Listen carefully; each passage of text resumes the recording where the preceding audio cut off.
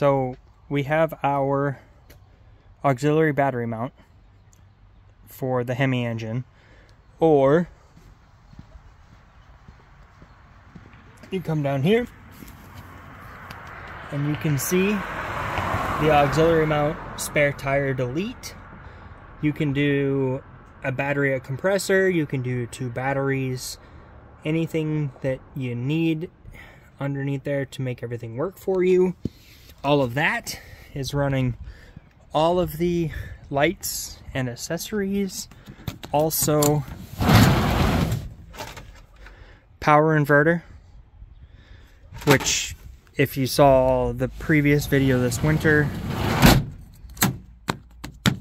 ran the pellet stove for heat while the power was out.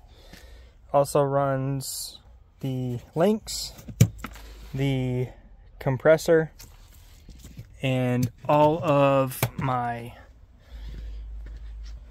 Switch Pros accessories, ARB LINX, anything but what the factory truck came wired to.